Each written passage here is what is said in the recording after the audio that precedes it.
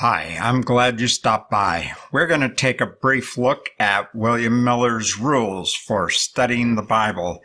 This material is an exact copy as printed in the book. Therefore, typos are included. Spelling is from the 1841 era, and I hope you enjoy it. What is commonly known as the 41 Miller book actually has a real title it is views of the prophecies and prophetic chronology selected from manuscripts of William Miller with a memoir, a memoir of his life by Joshua V. Himes. The rules of interpretation found here are located in the book on pages 20 to 24. And in the future, uh, we do plan to be publishing this book for those who would like it. So, we are reading from the book itself. This is, there's a couple little other lines around it, but this is the main force of it. In studying the Bible, I have found the following rules to be of great service to myself and now give them to the public by special request. Every rule should be well studied in connection with the scripture references if the Bible student would be at all benefited by them. Every word must have its proper bearing on the subject presented in the Bible. That is number one, and that is an excellent rule. It's uh, it's a shame that some people just pick out one little thing and they don't check it out. That's one reason we recommend eSword or other Bible search software that will search through the King James for you and find uh, all the common words for whatever your subject is. All right. Uh, number two, all scripture is necessary and may be understood by a diligent application and study. Notice that each one of these rules have references. This is all taken from the Bible and it is just really very nice, very nice. Number three, nothing revealed in Scripture can or will be hid from those who ask in faith, not wavering. That's a really good point. Um, you have to remember a lot of times humans are very impatient when it comes to waiting on God. Um, we got to get over being impatient. Number four, to understand doctrine, bring all the scriptures together on the subject you wish to know. Then let every word have its proper influence.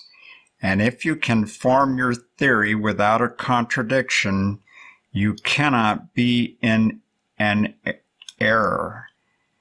I would caution you very much about thinking that you cannot be in an error.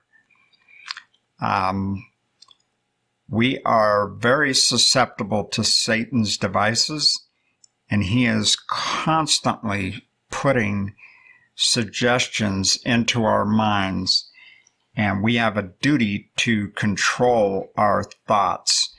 But this is very important. Do not set yourself up for any kind of failure by thinking that you cannot be in an error. Uh, William Miller had more than one errors in some of his thoughts. He, one of the, in one place, he was thinking that the 144,000 were all babies. And um, I haven't really studied out why it is that he thought that, but it is in print. Okay, Number five, Scripture must be its own expositor since it is a rule of itself. You know, God has set up His Word to teach people who are willing to be taught. Those who are uh, too wise and too greatly educated to be led by some humble soul and it is just uh, they have they have problems understanding things and uh, a lot of the education that happens these days comes from the wrong side. Satan is uh, in control of the educational system by and large in uh, pretty much around the world. Okay, so scripture must be its own expositor since it is a rule of itself. If I depend on a teacher to expound it to me and he should guess at its meaning or desire to have it so on account of his sectarian creed or to be thought wise, then his guessing, desire, creed, or wisdom is my rule and not the Bible. I encourage you to look up all these texts. There may be certain texts that are misprints, so be aware of that. Um, and do follow his this rule. This is very important that you prove all things. Now we're talking a great deal about the 144,000 because it is a very important subject, one that has been stolen from you by ignoring it largely. But it's important to study it and it's important to know these some of these things. So prove what I am telling you. Check it out. I try my best to give references for everything I say. Prove it. Prove all things. Okay, number six. God has revealed things to come by visions, in figures and parables, and in this way, the same things are oftentimes revealed again and again by different visions or in different figures and parables. Remember, we just had the video about parables and how important that is. And that is one way that God hides the truth in plain sight because people that are too smarty pants, they can't make it out and it irritates them and they, so they go for an, another uh, translation that will sound better to them and, and read more comfortable to them. Um, that's because they're not willing to be led by God, by and large. Um, then it says here, continuing, if you wish to understand them, you must combine them all in one. And that's very, very good. All right, visions are always mentioned as such. Number eight, figures always have a figurative meaning and are used much in prophecy to represent future things, times, and events, such as mountains, meaning governments, beasts, meaning kingdoms, waters, meaning people, lamp, meaning word of God right? Psalms 119, 105, right there. We covered that early, early on in this series here in this playlist of videos. Number nine, parables are used as comparisons to illustrate subjects and must be explained in the same way as figures by the subject and Bible.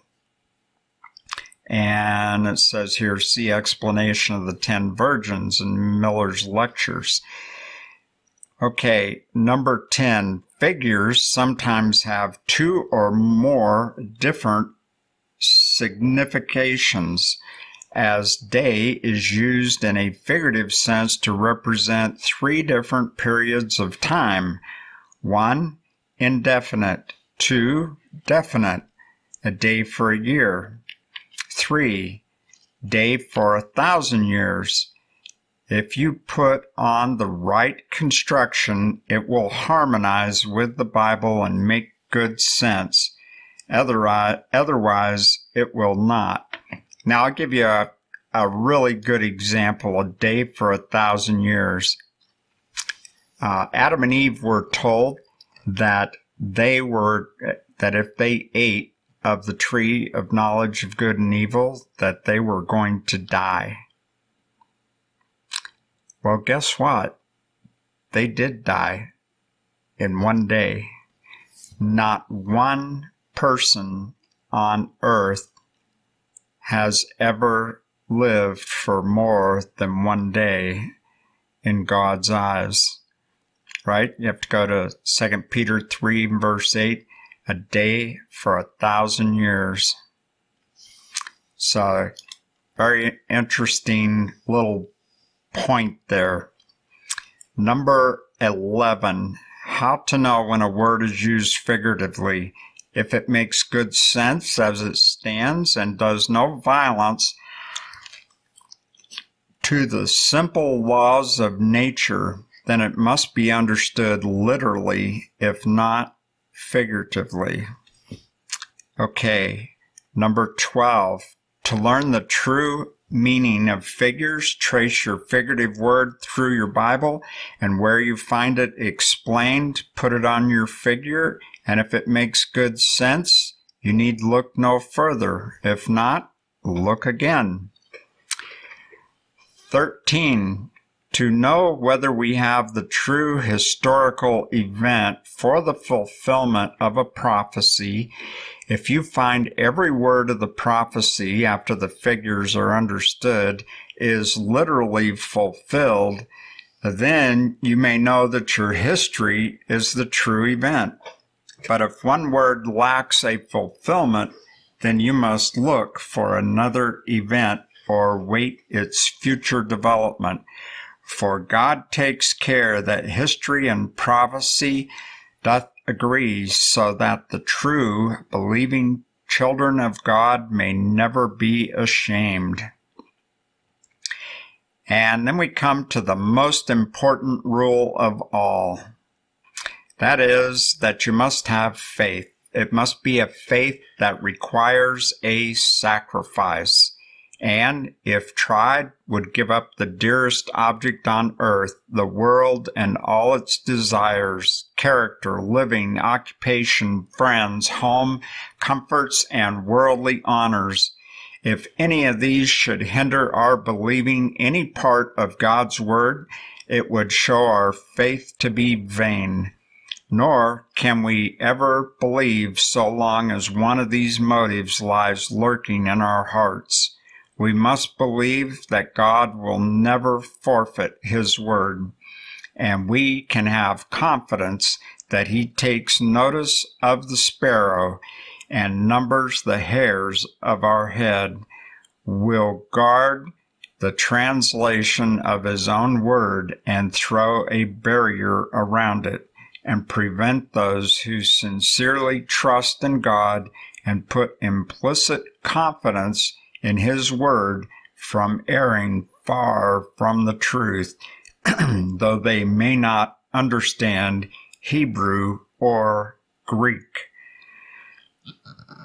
They have long sentences in those days, and this material is very, very good.